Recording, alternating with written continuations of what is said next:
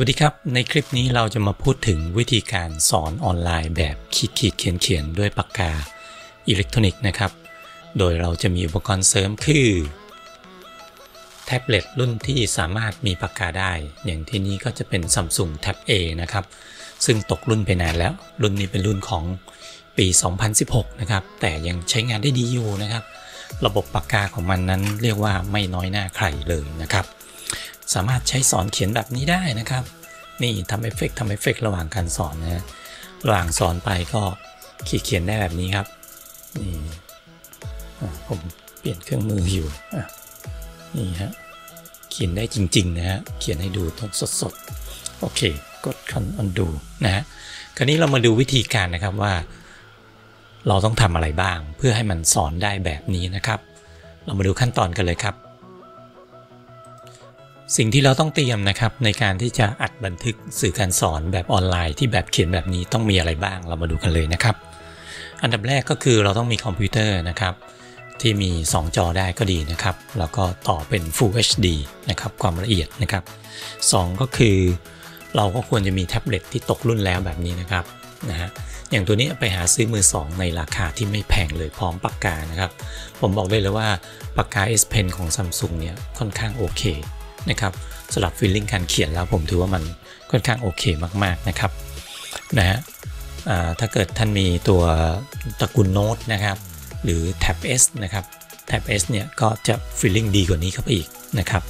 ในราคาที่แตะได้หรือว่า หรือว่าถ้าท่านใช้อของหัวเว่ยตระกูล MediaPad นะครับหรืออถ้าเป็นตระกูลของ Lenovo นะครับ Lenovo รุ่นบางรุ่นที่มีปากกา ที่ไม่ใช่ Windows นะครับ ก็สามารถใช้ได้เช่นเดียวกันนะครับ โอเคนะครับ ประเด็นก็คือในแอปในมือ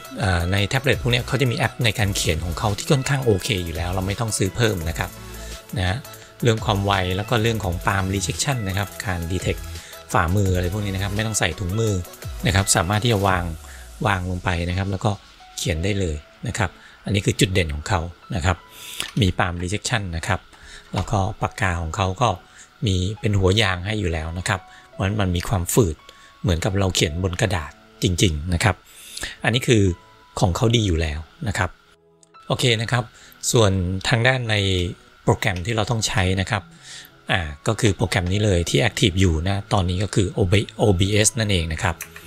ตัวที่ผมใช้อยู่ตัวนี้นะครับ ก็ผมก็จะมาเซตหน้าจอประมาณนี้สร้าง scene ไว้เรียบร้อยนะครับ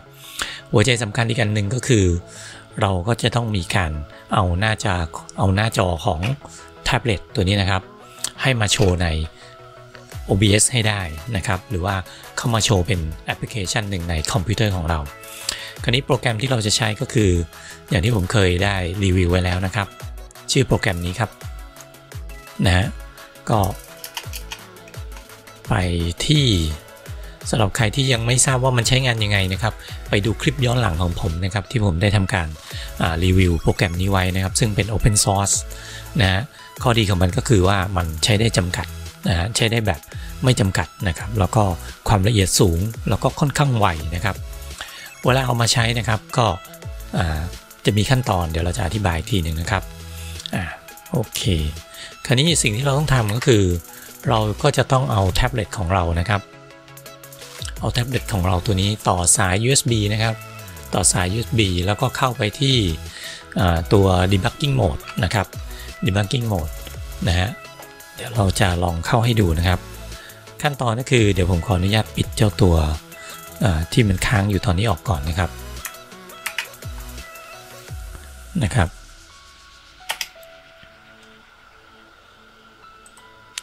ตัวนี้ที่มันเปิดค้างอยู่นะครับนะฮะเนี่ยตัวที่ผมเปิดค้างอยู่ตอนนี้อ่าเราปิดไปก่อน โอเคนะครับ สมมติถ้าเรารันเจ้าตัวนี้ขึ้นมานะครับ เดี๋ยวผมต่อสาย USB ระหว่างตัวแท็บเล็ตตัวนี้เรียบร้อยแล้วนะครับ กับเครื่องคอมของผมเรียบร้อยแล้วนะครับ คราวนี้เรามาดูนะฮะเราก็จะรันคำสั่งนะฮะเพื่อดึงขึ้นมานะครับ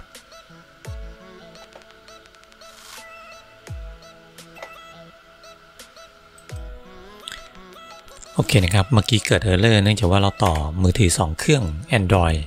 นะครับ มันเลยไม่รู้จัก ผมรันคำสั่งอีกครั้งหนึ่งนะครับ โอเค ขึ้นมาแล้วเนาะ อันนี้คือหน้าจอหน้าจอจากตัวแท็บเล็ตนะครับของตัวที่เมื่อกี้ผมแสดงให้ดูนะครับ มันขึ้นมาแบบนี้ละ คราวนี้แน่นอนครับก็ทำเหมือนเหมือนเดิมนะฮะ เราจะต้องต่อมันให้ได้นะครับ คราวนี้ไปดูวิธีการนะครับว่าเราจะต้องทำอะไรบ้าง ผมสรุปคร่าวๆหนึ่งก็คือ เราจะต้องเข้าไปที่ตัว developer mode นะครับ แล้วก็เข้าไปในส่วนของทางเลือกผู้พัฒนานะครับ เราก็ทำการเปิดในเรื่องของ USB debugging ตัวนี้นะฮะ ที่ผมไฮไลท์อยู่ตรงนี้นะครับนะฮะต้องเปิดนะฮะเมื่อกี้ผมไปกดปิดมันมันก็เลยหลุดไป โอเค เรา enter ใหม่นะครับ แล้วก็ run เดี๋ยวเปิดหรือยังเปิดในแท็บเล็ตก่อนนะฮะ โอเค เปิดในแท็บเล็ตเรียบร้อยนะครับ อะคราวนี้เรา run คำสั่งใหม่ปุ๊บอะขึ้นมาแล้วเนาะนะฮะตรงนี้ครับจะต้องค้างไว้นะครับแล้วก็เรื่องเมาส์เรื่องอะไรเนี่ยฮะตรวจสอบผ่าน USB ADB ตรงนี้นะครับ ก็คือ option ตัวข้างล่างสุดตรงนี้นะฮะที่ผมไฮไลท์อยู่นะครับโอเค เราไปเปิดมาเรียบร้อยแล้วนะครับพอเปิดเรียบร้อยปุ๊บเรารันคำสั่ง มันก็จะขึ้นมาทางหน้าจอแบบนี้นะครับ ซึ่งมันเป็นแท็บเล็ตคราวนี้ อย่างตัวนี้มันเป็นซัมซุงนะตระกูลซัมซุงแล้วเราเปิดเข้ามาเข้าเครื่องมืออย่างเช่น เครื่องมือสร้างบันทึกนะครับ มันก็จะเข้ามาที่โหมดจอของการเขียนได้เลยนะครับนี่ฮะสมมติว่าผมเป็นปากกานะอ่านี่ฮะชื่อผมนะฮะอ่าทดสอบ การเขียนนะฮะลายมือผมไม่ค่อยสวยเท่าไหร่นะฮะ เราจะวาดรูปสอนก็ได้นะฮะวาดรูปในเชิงของอฟิสิกส์นะฮะมีพื้นนะอันนี้วาดแบบรวบๆหน่อยนะครับมวลมีขนาดเท่ากับ m นะฮะเท่ากับเท่าไหร่ก็ไม่รู้มีแรงนะครับ force ทิศทางแบบนี้อะไรก็ว่านไปเนาะนะครับ ซึ่งมันค่อนข้างจะโอเคนะฮะในในการวาดรูปในการลงมือเขียนพวกนี้นะครับ ซึ่งผมว่า ฟีลลิ่งมันดีนะฮะฟีลลิ่งมันดีในการวาดรูปในการเขียน เครื่องมือเขาก็มีให้เลือกหลายตัวนะครับ แล้วก็เลือกเลือกสีได้ด้วยนะทำให้เราสามารถที่จะสร้างความสนใจในการสอนออนไลน์ได้ดี แต่คราวนี้เนี่ยครับเเราต้องการที่จะกำจัดตั้งแต่ตรงเนี้ยตั้งแต่ตรงนี้ขึ้นไปเนี่ยนะครับ ให้มันไม่โชว์นะครับ แล้วก็ด้านข้างนะฮะด้านซ้ายด้วยนะฮะอันนี้เราไม่เอา ตรงนี้เราไม่เอา นะครับ เราก็จะมาใช้คำสั่งในโปรแกรมที่ผมเคยรีวิวเนี่ยทำการครอบมันนะครับ เพื่อที่จะมาใช้งานนะครับอะคราวนี้เดี๋ยวเรา stop ตัวนี้ก่อนนะครับ เพื่อที่จะมาลองดูกันใหม่นะครับอะปิดตัวนี้ไปก่อนคราวนี้เนี่ยนะครับมันก็จะมีคำสั่งในการ screen copy นะครับนะฮะที่ที่ผมไฮไลท์อยู่ตอนนี้นะครับ screen copy คราวนี้ผมได้ทำการทดลองไว้แล้วนะครับที่ 1,500 1,700นะครับ เหตุผลก็คือเราต้องดูตัวเลขจากตรงนี้ก่อนนะฮะอันนี้คือแนวนอนไงนะครับ แล้วเราต้องการจะครอบแบบนี้นะครับนะเราก็จะตั้งค่ามาว่าเออด้านหัวบนนะเราต้องการครอบไปเท่าไหร่ ด้านซ้ายกับด้านด้านล่างเนี่ยครอบไปเท่าไหร่ ผมได้ทำการสุ่มตัวเลขมาแล้ว แล้วผมก็ enter มานะครับ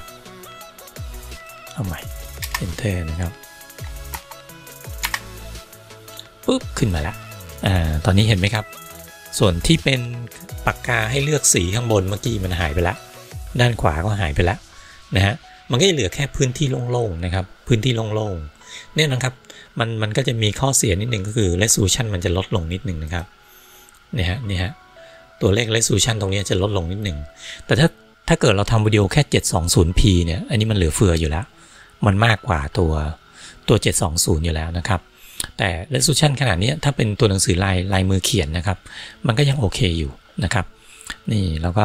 เอามาวาดรูปต่อได้แล้วเปลี่ยนสีปากกาก่อน ช่วงเปลี่ยนสีปากกาจะเห็นอยู่บ้างนะครับนะฮะอย่างนี้นะครับนี่ฮะเราก็วาดรูปต่อ F2 อะไรก็ว่าไปนะฮะวาดรูปได้นะครับ ซึ่งเราก็สกรอขึ้นสกรอลงได้แบบ ไม่จำกัดระหว่างเราใช้ touch นะครับ แล้วก็ตัวนี้มันเป็น palm rejection นะครับ ค่อนข้างโอเคนะครับ คราวนี้เรามาดูนะฮะ ตอนนี้เราสามารถดึงหน้าจอจากแท็บเล็ตขึ้นมาบนคอมพิวเตอร์ได้แล้วนะครับ ผ่านซอฟต์แวร์ตัวที่ผมบอก คราวนี้เรามาที่ตัวโปรแกรมตรงนี้ครับนะฮะเราก็มาที่ Windows Capture ของ OBS นะฮะ เดี๋ยวผมลบตัวนี้ทิ้งไปก่อนเพื่อให้เห็นกระบวนการนะครับว่าเราเอาเข้ามาใหม่นะครับ เดี๋ยวผมปิดตัวเว็บแคมผมไปก่อนนะฮะ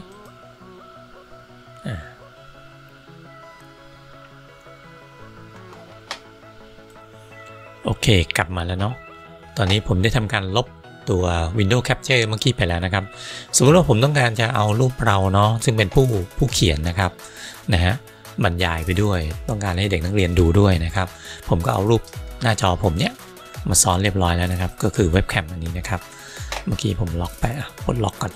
นี่เอาเว็บแคมมาเรียบร้อยแล้วตัดฉากหลังพื้นหลังเรียบร้อยนะครับนะฮะด้านหลังผมใช้ฉากเขียวนะครับ